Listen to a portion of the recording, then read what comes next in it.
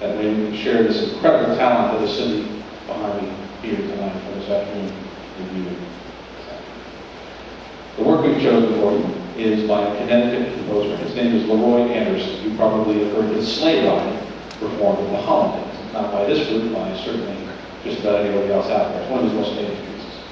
But he also wrote a wonderful piece of music called Bugler's Holiday, which features three trumpets. Uh, I'll tell you a little bit about our soloist.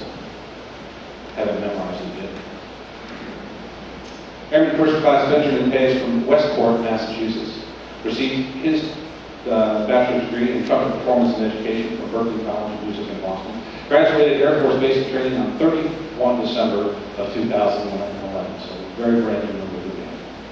Also new to the band is Staff Sergeant Jason Nickell. Hails originally from St. Louis, Missouri, attended the University of Missouri in St. Louis, where he received his bachelor's degree in trumpet performance.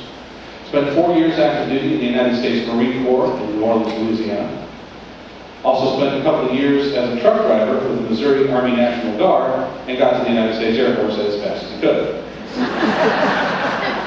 Within the legal speed limit, of course. He entered into the Air Force on March the 7th of 2012, just a day after we announced that we would be activated. He still came here for about a year and a half, and we're very glad to have him. Soloist is Technical Sergeant Cheryl Petula from Imperial, California. Received her music degree from music performance from Cal State Long Beach. Entered the United States Air Force in 1998. Has served in Air Force bands at Travis Air Force Base in California, Ramstein Air Base in Germany, uh, Langley Air Force Base in Virginia, and finally here at the United States Air Force Band with the Hanscom Air Force Base in Massachusetts. So, performed Juniper's Holiday by Leroy Anderson. Please give a warm welcome to Sergeant Cheryl Petula, Staff Sergeant Jason Nickell, and Airman First Class